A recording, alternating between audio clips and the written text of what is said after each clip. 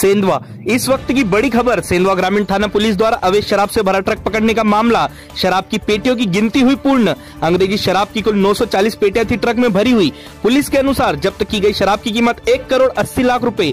वहीं जब्त किए गए ट्रक की कीमत बीस लाख रूपए के लगभग। पुलिस द्वारा जब तक कुल मशरूका की कीमत दो करोड़ रुपए। ज्ञात हो कि आज सुबह सेंधवा ग्रामीण थाना पुलिस ने सेंधवा बाईपास से अंग्रेज़ी शराब से भरा ट्रक पकड़ा जिसमें दो आरोपियों को गिरफ़्तार किया है।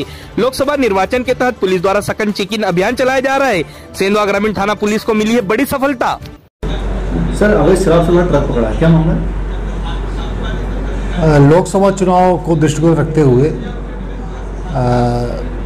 बड़वानी पुलिस अधीक्षक श्री भूटिया ने निर्देशित किया था कि सतत निगरानी रखी जाए एवं पेट्रोलिंग की जाए। इसी तारतम्य में टीआई सेधवा ग्रामीण विश्वदीप परिहार के नेतृत्व में एएसआई पाटिल और विवेक शर्मा, मुकेश गिरवाल, गौरव गौतम की टीम हाईवे पेट्रोलिंग में थी।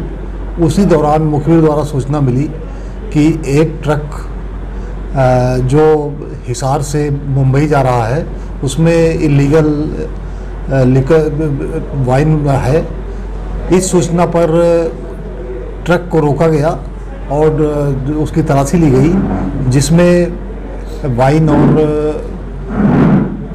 बहुतायत मात्रा में वाइन मिली, जो जिसकी कीमत लग, लगभग एक करोड़ रुपए की है। और ट्रक भी उसमें जब्त जब्त किया गया।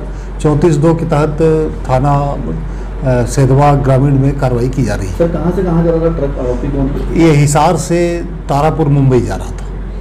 आरोपी कौन है? चालक इसमें दो हैं आरोपी एक अविनाश तिवारी जो जौनपुर का रहने वाला है और दूसरा राम नारायण जो देवीपुर देवीपुर का रहने वाला है। सर क्या कीमत है?